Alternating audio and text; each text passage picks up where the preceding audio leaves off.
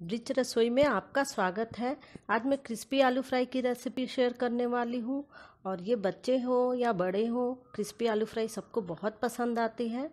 तो उम्मीद है कि ये रेसिपी भी आपको पसंद आएगी और ये बहुत ही टेस्टी लगती है और इसे बनाना बहुत ही आसान है। तो क्रिस्पी आलू फ्राई के लिए मैंने ले लिया है। पाँच आलू मीडियम साइज़ के हैं और इसके छिलके निकाल लिए हैं और धो लिए हैं आलू को।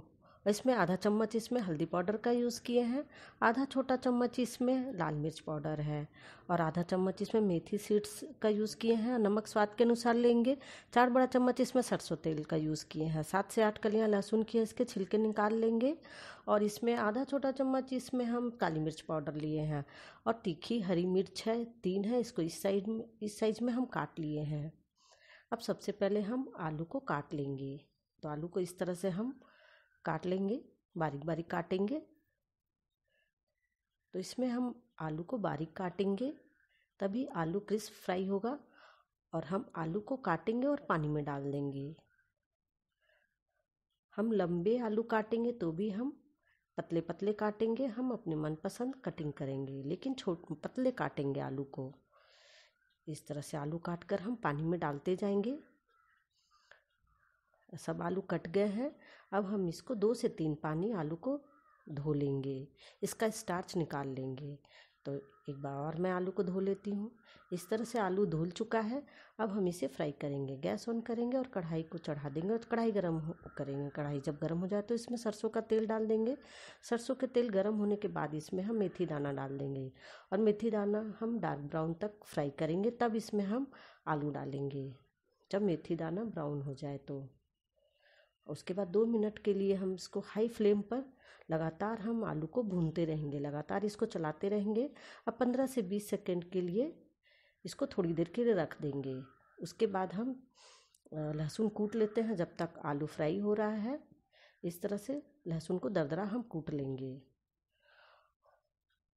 और आलू थोड़ा क्रिस्प हो गया है। अब अब इसमें नमक ऐड करेंगे। तो हम नमक स्वाद के अनुसार लेंगे।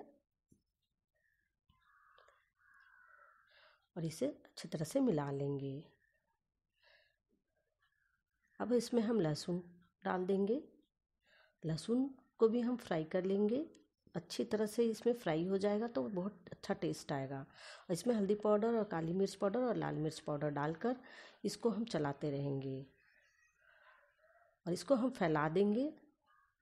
पंद्रह से बीस सेकंड के लिए हम फैला देंगे थोड़ी थोड़ी देर के लिए। ये प्रोसेस हम दो से तीन बार करेंगे ताकि आलू क्रिस्प हो जाए। उसके बाद हम फिर से चला लेंगे और इसमें हम हरी मिर्च डाल देंगे और हरी मिर्च को हम बाद में डालेंगे ताकि इसका कलर ग्रीन रहे और इसको लगातार हम फ्राई करते रहेंगे मीडियम फ्लेम पर। इस तरह से हम फैला लेंगे पंद्रह से बीस सेकंड, फिर इसको हम चलाएँगे। इस तरह से हम आलू को क्रिस्प करेंगे। तो आलू क्रिस्प हो गया है। और इसे हम किनारे कर देंगे आलू को इस तरह से और बीच में ये एक्स्ट्रा तेल जो भी होगा इसे ये निकल आएगा और गैस ऑफ़ करते हैं, थोड़ी देर के लिए छोड़ देते हैं।